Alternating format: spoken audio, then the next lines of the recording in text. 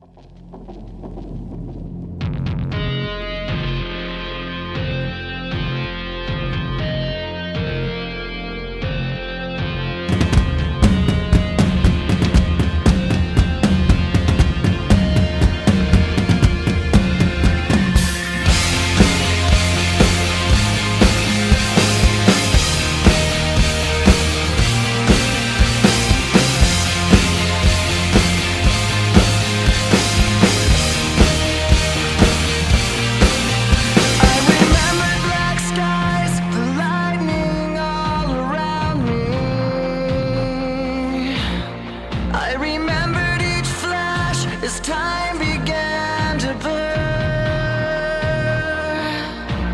like a startling sign that fate had finally found me.